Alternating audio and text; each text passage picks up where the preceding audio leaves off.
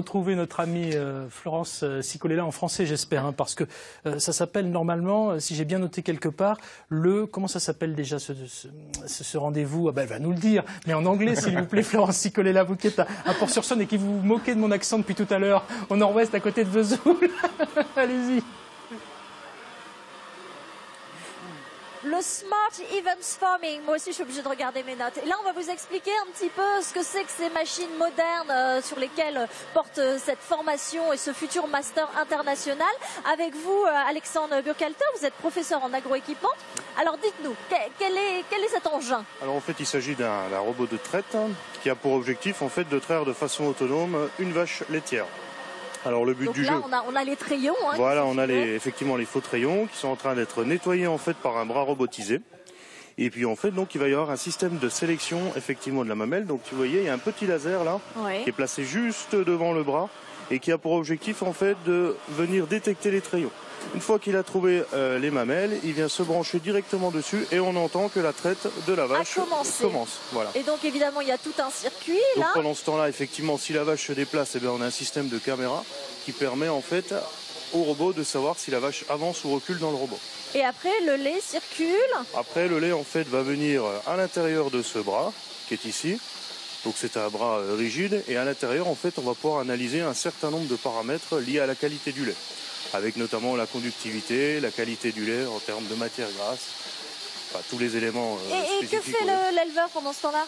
Alors l'éleveur, le but du jeu hein, pour un éleveur, c'est justement d'intégrer tous ces paramètres et de bien suivre son troupeau, c'est-à-dire de passer plus de temps avec ses vaches pour justement observer bah, la qualité du lait, l'évolution de son troupeau, la masse corporelle de sa vache, ajuster aussi sa ration en fonction des besoins des vaches laitières. Le gros intérêt du robot, il est surtout là. Il est à la fois effectivement décharger l'éleveur de la traite, mais il est aussi justement de lui permettre d'avoir plus de temps eh avec ses vaches, avec son troupeau, pour mieux le suivre et puis mieux valoriser son travail. C'est pas euh, au détriment de l'animal, c'est pas au détriment du contact avec l'animal? Non, parce que justement, on, dit souvent qu'on ne peut pas installer un robot dans une exploitation où l'éleveur ne serait pas entre guillemets éleveur. Ok, merci beaucoup. Je vais, je vais maintenant m'adresser à, vos étudiants. Euh, Marie-Ange et Marc, euh, où est Marc? Ah ben voilà, pardon. Euh, vous allez dire, euh, donc vous êtes en, licence, vous Pourquoi vous avez gardé le micro Je vais, je vais m'occuper euh, de Marc. Pourquoi vous avez choisi cette, cette filière? Quel est votre projet? Bah, moi, c'était d'ailleurs par les animaux, donc l'intérêt de l'élevage traite, donc, et puis l'automatisation de l'élevage en soi-même des, exploitations. Qu'est-ce qui vous plaît dans l'automatisation? Bah, Le bien-être, bah, c'est pas forcément le bien-être des animaux, mais c'est être plus au contact des animaux. Donc ça permet d'être à l'éleveur, d'être plus proche des animaux. Euh. Oui, ça paraît paradoxal et pourtant c'est ce qu'on vient d'expliquer. Marie-Ange je, je, précise que vous êtes euh, tous les deux originaires de Bretagne. Euh, dites-nous, vous aussi, pourquoi vous avez choisi cette, filière? Pourquoi l'agroéquipement vous a bah, attiré? Ayant fait de l'agroéquipement dans le machinisme agricole, je me suis dit après, pourquoi pas augmenter mon champ de vision et aller vers l'automatisme et la robotique d'élevage.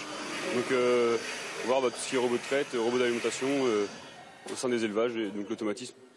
Et bien donc voilà la relève dans le monde agricole et de l'agroéquipement. On continuera notre petit tour d'horizon et tout à l'heure, ça y est, je vais faire mon interview en anglais, Pascal. Oh yes Oh I am very impatient quand même. ce qui va se passer. Merci Florence, au nord-ouest de Vesoul. C'est vrai qu'il se passe plein d'événements en Bourgogne-Franche-Comté. On vient de vous le prouver à Port-sur-Saône avec Florence et ça va continuer d'ici la fin de cette émission. Il y a aussi pas mal de choses